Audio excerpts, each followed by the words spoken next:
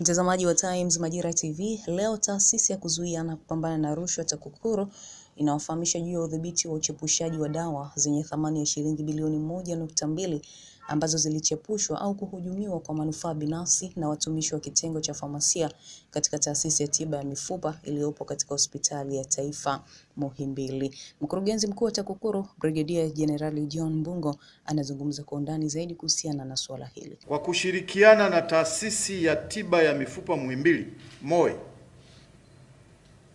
kudhibiti yadhibiti uchepushaji na ubadhirifu wa madawa ya zaidi ya Tanzania shilingi bilioni moja na nukta mbili. Leo tunapenda umma ufahamishwe juu ya udhibiti wa uchepushaji wa dawa zenye thamani ya shilingi bilioni moja nukta mbili ambazo zilichepushwa au kuhujumiwa kwa manufaa binafsi na watumishi wa kitengo cha famasia katika taasisi ya tiba ya mifupa iliyopo katika hospitali ya taifa Muhimbili,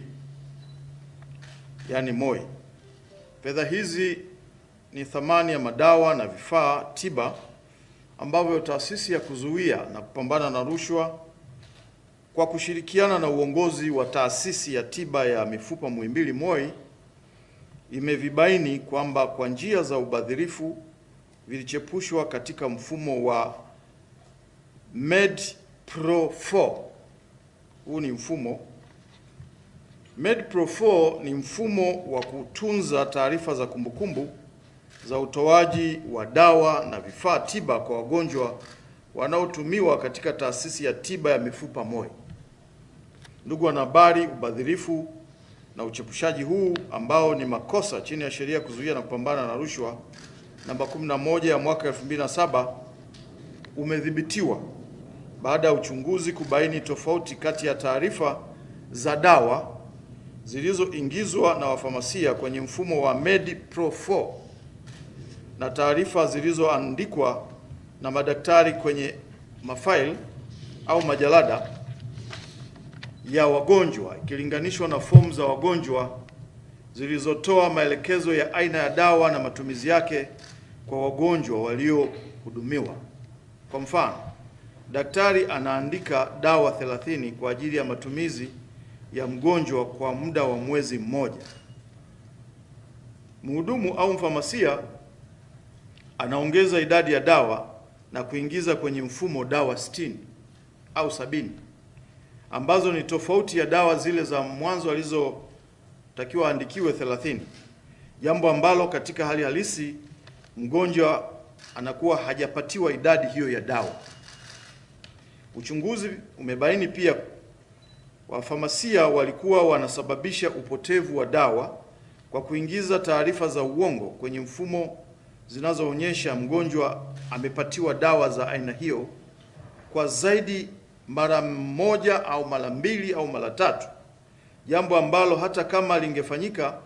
kwa makosa basi ingesababisha madhara kwa wagonjwa. Njia nyingine ni ile ya watumishi wa kitengo cha famasia kuingiza taarifa kwenye mfumo zikionyesha dawa zimetolewa kwa wagonjwa huku wakijua kuwa hao ni wagonjwa hewa. Vilevile, vile, taasisi ya kuzuia na kupambana na rushwa imebaini kuwa wapo watumishi wa kitengo cha famasia wanaofanya ubadhirifu wa kuongeza dawa zenye bei kubwa kwenye fomu za madaktari ambapo kiuhalisia daktari wala hajatoa maelekezo hayo. Kutokana na ubadhirifu huo, dawa na vifaa tiba vyenye thamani ya shilingi bilioni moja nukta mbili zilikuwa zihujumiwe kwenye mifumo halali iliyowekwa na serikali, jambo ambalo lingeweza kuisababishia serikali hasara. Ndugu wanahabari, sote ni mashahidi na tumekuwa tukimsikia mara kwa mara Mheshimiwa Daktari Dorothy Gwajima, Waziri wa Afya, Maendeleo ya Jamii na Jinsia, Wazee na Watoto, akifuatilia kwa makini kabisa utendaji wa maduka ya madawa katika kila hospitali aliyoikagua tangu alipoingia madarakani. Napenda umma ufahamu kwamba operesheni ya ufuatiliaji na urejeshaji wa mali za serikali pamoja na wananchi wanyonge ni zoezi endelevu ambalo linafanyika nchi nzima kwa mujibu wa sheria ya kuzuia na kupambana na rushwa, sheria namba 11 mwaka 2007, na kwamba kupitia operesheni hii kwa kipindi cha miezi sita, yaani kuanzia Julai 2020 hadi Disemba 2020, taasisi ya kuzuia na kupambana na rushwa imefanikiwa kuokoa kiasi cha shilingi bilioni 14.4. Kiasi, kiasi hichi cha fedha kinajumuisha shilingi bilioni 1.1 ambazo tumefanikiwa, taasisi imefanikiwa kuzirejesha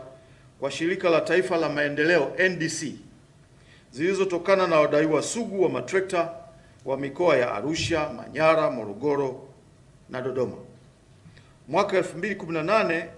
Shirika la Maendeleo la Taifa NDC walikopesha wakulima jumla ya matrekta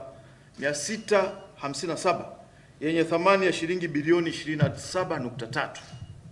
katika maeneo mbalimbali nchini, na wakopaji hao wameshindwa kurejesha mikopo yao kwa wakati. Ndugu wanahabari, vile vile takribani wiki mbili zilizopita, yaani Desemba 29, 2020 nikiwa mkoani Iringa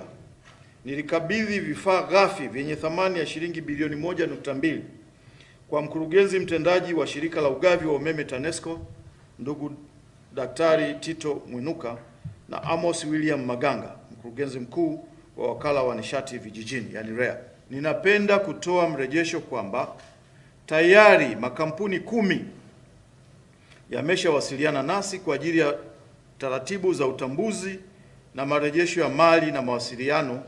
yanaendelea kwa kampuni sita ambazo wamiliki wake wote wako nje ya nchi. Taasisi ya kuzuia na kupambana na rushwa, pamoja na mambo mengine, inaendelea na kampeni kabambe ya uokoaji wa mali zinazoporwa na watu wasio na maadili, zikiwemo mali za serikali, mashirika ya umma na wananchi wanyonge wanaodhulumiwa haki zao, ikiwemo malipo ya fedha zao kutoka vyama vya ushirika baada ya kuuza mazao hayo pamoja na mali nyingine kama vile viwanja, nyumba na vyombo vingine vya usafiri. Taasisi imekuwa ikitekeleza wajibu huu unaotokana na sheria ya kuzuia na kupambana na rushwa, sheria namba 11 ya mwaka 2007, lakini pia maelekezo ya kuwasaidia wananchi wanyonge kutoka kwa Mheshimiwa Daktari John Pombe Joseph Magufuli na Amiri Jeshi Mkuu na Rais wa Jamhuri ya Muungano wa Tanzania ambayo amekuwa akiyatoa kwa taasisi ya kuzuia na kupambana na rushwa na Watanzania wazalendo. Mtazamaji, huyo ni mkurugenzi mkuu wa TAKUKURU Brigedia Jenerali John Mbungo, ambapo amezungumzia juu ya udhibiti wa uchepushaji wa dawa zenye thamani ya shilingi bilioni moja nukta mbili ambazo zilichepushwa au kuhujumiwa kwa manufaa binafsi na watumishi wa kitengo cha famasia katika taasisi ya tiba ya mifupa iliyopo katika hospitali ya taifa Muhimbili, ambapo kikubwa amesema kwamba uchunguzi umebaini kwamba wafamasia walikuwa wanasababisha upotevu wa dawa kwa kuingiza taarifa za uongo kwenye mfumo zinazoonyesha kwamba mgonjwa amepatiwa dawa ya aina hiyo kwa zaidi ya mara moja, jambo ambalo hata kama lingefanyika kwa makosa basi lingesababisha madhara kwa wagonjwa. Endelea kufuatilia katika mitandao yetu ya kijamii ya Instagram, Facebook, Twitter na YouTube channel yetu. Mimi ni Jacqueline Martin na nyuma ya kamera ni Prosper Rutayuga.